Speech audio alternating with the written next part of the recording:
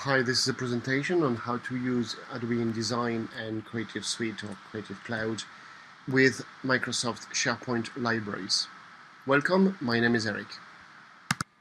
The goal here is to be able to share the InDesign file with the rest of the team. Of course, we want the links to remain active.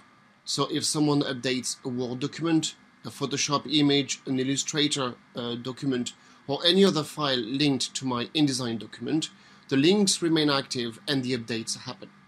I want to be able to op open, edit and save my files and even create new files and save them directly into the SharePoint library without having to sync to local desktops all the files. So how do we do that? So this is my SharePoint site with uh, a library called Brochure Sample Project. That library has, in the settings, I activated the versioning, the approval status, and the check-in checkout features. I uploaded a few files by simply drag and drop. So I have a Word document, a Photoshop file, and an InDesign document. I created additional columns for the uh, use type, the status, subject, author, approval status, and other columns if I needed them. Now the next step of course is to open up the InDesign file and edit it. One of the easiest way to do this is to go to the Library tab and ask to open in Explorer. This will open up this library in, in Windows Explorer.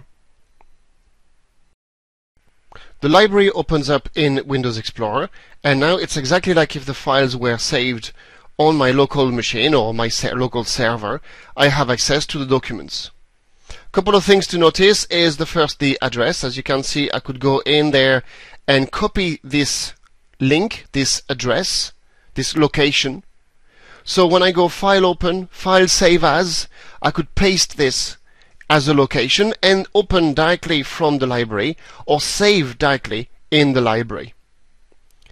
In this case, I will just double click on my InDesign document and opening it up. So my InDesign document opens up, ready to be edited as per usual. Every time I add some content, for example this, and I go File, Save, it will of course update my SharePoint document. To place some information, I will go File Place and add at the top there, paste that link to my site, which automatically will allow me to access my Word document or the Photoshop file that I already uploaded. Then I click on Open, Open, and here's my Word document ready to be placed. Exactly the same for a Photoshop document. Place. Photoshop. And here's my Photoshop document. Not very pretty, but it's just a sample. And here you go.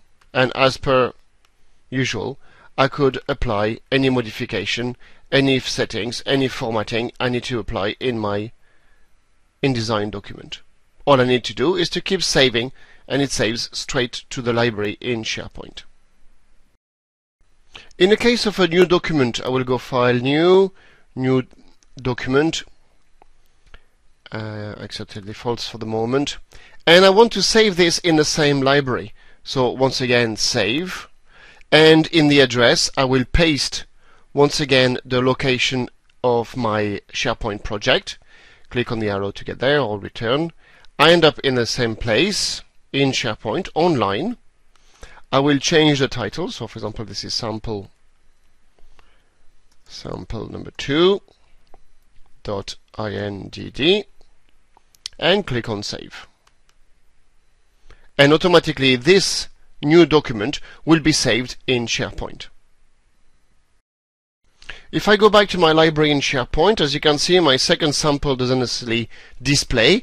That's because uh, I need to refresh.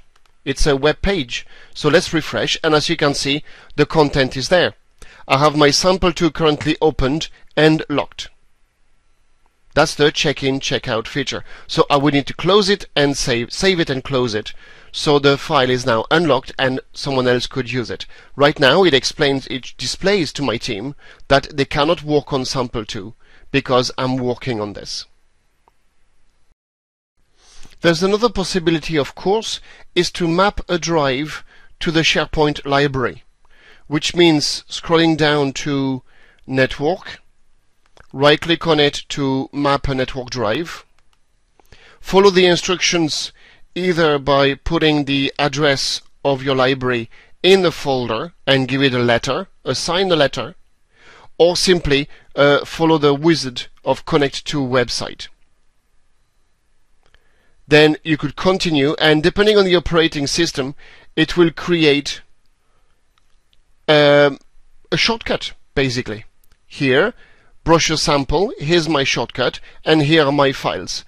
They do not sync to my local machine. It's exactly like if they were on my local server. All I need to do then is to have my colleagues do the same thing. It will, the process will vary from machine to machine depending on the operating system. This is Windows 10. It does it quite easily. Windows 8 is a bit more difficult. Windows XP uh, used to do it really, really well. So it really depends on the operating system that you use to map a network drive to an online resource. But once again, it's a question of copy pasting that uh, address at the top of the screen in the web in the URL there or in the location address there. Now, next time I will restart, I have this T drive ready to have all my files. And I could easily share this uh, with all my colleagues. So here you are, for Windows operating system, two options. The first one is to go to the library. From the library tab, open in Explorer, where you will have access to all your files, to drag and drop, to open them, to edit them, work on them. Don't forget to copy the address at the top of that window, so you could use it when you go open, save, and map the network drive. Option 2, you could map a network drive. It will vary slightly depending on your operating system. And you could easily then uh, share all your files with all your colleagues. The links will remain as long as you link the files, the resources, that's Illustrator, that's uh, Photoshop documents, JPEGs, PNG, any kind of images, illustration, text from Word, all those links need to be done when all the files are in SharePoint first. So InDesign remembers that the original file is not on your local machine or on your server, but the original is actually located in SharePoint, allowing your colleagues to edit the documents and a very, very smooth workflow. Best of luck!